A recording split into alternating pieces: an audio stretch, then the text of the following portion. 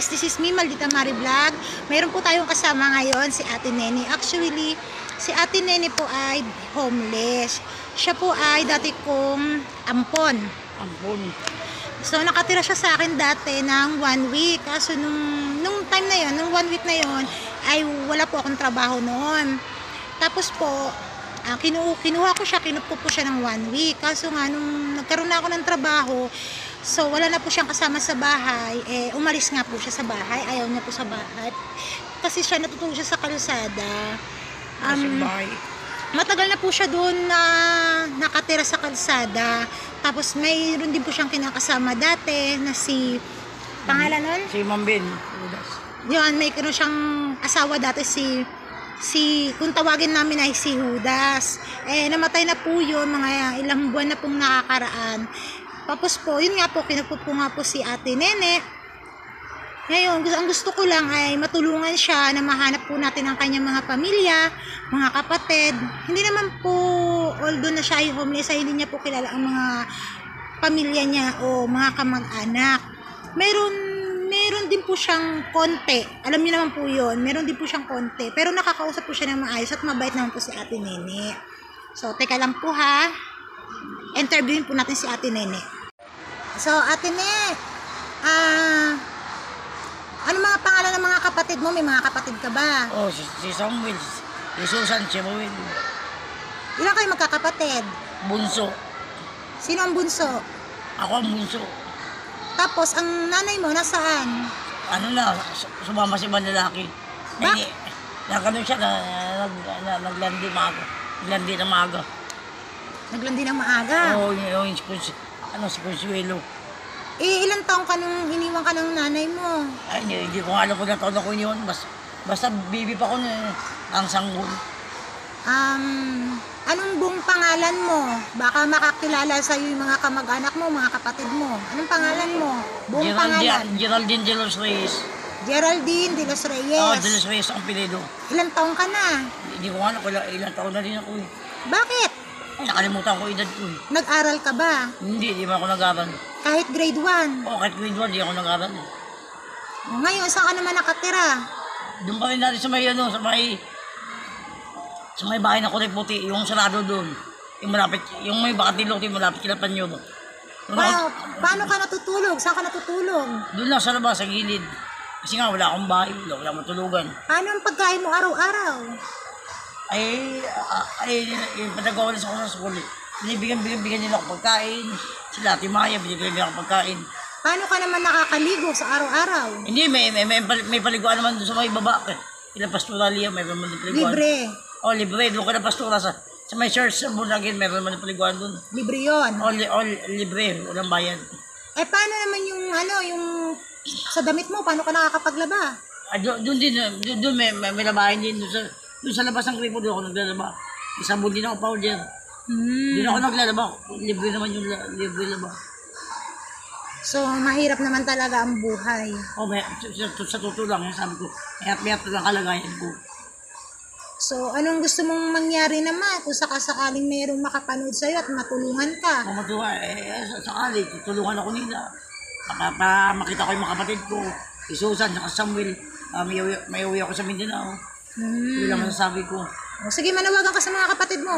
Ah, mga kapatid po, a- ako po yung uuwi sa Mindanao. Sa- Sana matulungan niyo ako. Uwi na, uuwi na ako. sa- Sana matulungan niyo ako. Nanawagan pa ako sa mga kapatid ko. Ako po si Geraldine Joses. Sana matulungan niyo ako. Eh, kung mahanap ka naman ng mga kapatid mo at mapanood nila tong video na to, Oo nga. ikaw ba'y sasama na sa kanila? Oo, sasama. Etong nakikita ko sa iyo, Tene, ah, bakit ganyan ang pagsasalita mo yung parang ngayon ikaw ay utal? Ganun lang ako magsalita eh. Wala ka bang sakit? Wala naman. Eh bakit sinasabi nila na ikaw daw ay may konti? Ay, ay, ay, sa, sabi lang nila may sabi lang nila may sabi lang nila may kunti. Pero ang totoo, Yung to- Totoo, wala, wala naman talaga. wala. Hindi maganda. Oo, yung maganda sa totoo, wala naman talaga may kunti. Eh sa nanay mo, nanay ko sumama kasi malalaki hindi, manawagan ka. Baka makita ka niya, maki, maki, mapanood niya tong video na to. Oo. Ako, ako po nanawakan sa nanay ko. Si, si ano, si, si, si Consuelo, sa, sana, sana tu- tulungan mo ako. Sana mapanood ka ng nanay mo at ng mga kapatid mo nang makuha Sana ka ma, na. ma, ma, ma, ma, mapanood ako ng mga nanay ko. Nanay lang. Na, na, na, ng nanay ko. Ang tatay mo buhay pa ba? Buhay pa si at tatay ko si Pilimon. Nanawagan mo ko sa, tat, sa tatay ko. Sa, sa, sana mat, matulungan niyo ako sa video. Pilimon na ano siya? Anong apelido? Jealous, jealous Reyes din. Pilimon de los Reyes. Oo. Ang iyong ina, Yan, uwi na. si Consuelo de los Reyes. Oo, oo, Chulo Jealous Reyes. At ang iyong mga kapatid, Si Samuel, si Susan, si, si Susan, si Ruel. Samuel, Susan Ruel, Jeruel. tsaka Sam, Samuel, Ruel, Ruel, tsaka Susan. Susan. Ayan po yung mga kapatid niya. Pwede Sana na. po, Sana po matulungan niyo ako. Nanawagan po ako, sana matulungan niyo ako. ah, mga kababayan, Mga kababayan, um, sana po, Sana po matulungan niyo ako. matulungan niyo po si Ate Nene dahil Ate po Nene. talaga siya ay nakatira lang po talaga sa, sa kalsada at Sa- hirap po talaga ang kanyang buhay. At wala rin po talaga siyang Wala po bahay. akong bahay, sana matulungan. Minsan, siya ay nakakapa, nakakakain naman siya. Nakakain Bagamat sa maayos. pa, siya ay nagwawalis-walis sa school, Sa school, sa nangangalakal. Yan Ah, po. Nangangalakal. Plastic sa mga bottles. magulang po Sa niya, mga magulang ko niya. um, sana po, ah, pag Isa- napanood niyo po ito, matulungan niyo po si Ate Nene. I-message niyo lang po ako dahil po talaga si Ate Nene ay talagang hirap po talaga siya sa buhay. Sa At kailangan niya po ng pagmamahal ng kamag-anak, kapatid, magulang, at siya po yung mapagamot po ninyo. Sana po ah, maki- makita niyo po itong video na to at mapanood at ma magkaroon po tayo ng kaugnayan para po sa atin ay inyo po matulungan. Tumatawa ka, masaya ka ba? Oo, masaya ako. Bakit? Sa, sa, sana matulungan ako nila. Matutulungan ka nila, magpipray ka lang palagi kay Jesus. Mga magpipray ka lang kay Jesus. Jesus, hindi mo nakita, magpipray ka lang para matulungan ka nila. Hmm. So, ayun nga po mga kababayan, mga kamalditang mare, na si Ate Nene po ay humihingi po siya ng tulong na makausap niya po ang kanyang mga magulang at ang kanyang mga kapatid na upang po siya ay makauwi po sa kanila sa Mindanao. Mindanao. Siya po ay taga Mindanao. Sana po mapanood niyo po ito o sa mga nakakakilala po sa pamilya ni Ate Nene, kay Ate Geraldine, Geraldine. Geraldine de- los Reyes. Yes. Geraldine de los Reyes, kung sino man po ang makakakilala po sa kanya o sa mga kapatid po niya, sa mga kamag-anak niya, sana po ay matulungan niyo po si Ate Nene o si Ate Geraldine de los Reyes. Kasi talaga po nakakaawa po talaga ang buhay niya mga kamaldita. Dahil po siya ay nagwawalis lang. Walis. Tapos, tsaka lang siya mabibigyan ng pagkain kapag nakapagwalis-walis siya, nangangalakal. Yan po kanyang trabaho. At para po siya mapagamot. Dati po kasi mga kamaldita, siya po ay aking inalagaan ng isang linggo. Ngunit, nung ako po may trabaho na, siya ay naiiwan sa bahay. Siguro, naiinip siya dahil wala po nga siyang kasama sa bahay ah, umalis po siya. Pero po, hinanap ko naman din po syempre. Pero malapit lang naman kasi. Kaya pagka pumupunta ko dito sa school, nakikita ko siya, pinapakain ko po siya, binibilang ko po siya ng pagkain. Kasi alam ko naman po na hindi pa siya kumakain. Kagaya po kanina, nakita ko na naman siya. Ayun, pinakain ko po siya ng kanin at ulam kasi hindi pa talaga siya kumakain. Alam niyo mga kamaldita, itong si Ate Nene, nung mga time na nasa akin po, ah, maayos talaga siya at mabait.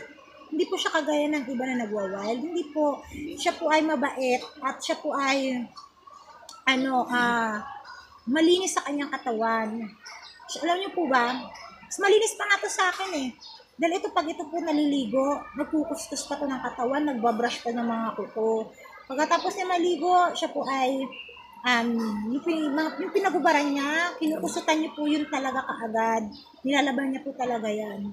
Tapos siya, siya po ay marunong din magugas ng pinggan, marunong siya makihalubilo sa tao. Kasi may, may ganun po talaga. Gawa nga nang kilala siya na ganyan, eh medyo nilalayuan siya at akala ay siya ay talagang may, sabihin na lang natin na na may sakit talaga sa pag-iisip. Although naman meron talaga, pero hindi naman siya talagang asin, manak, mapanakit na tao. Siya po ay nakakausap po ng maayos. Talagang nakakausap po siya ng maayos. So, dahil po dyan, sana po sa mga pamilya po ni Ate Geraldine de los Reyes, na ma- mapanood po ninyo at ma-share niyo po itong video na to upang po si Ate Nene ay matulungan po at makuha po siya ng kanyang pamilya. Um, maraming maraming salamat guys sa inyo. Um, inuulit ko po, paki-follow, paki-follow po ako at paki-like, share, comment, emoji heart, tapos pakipanood na lang din po to sa aking YouTube channel. Maraming maraming salamat po guys sa inyong panonood. I love you. Bye-bye!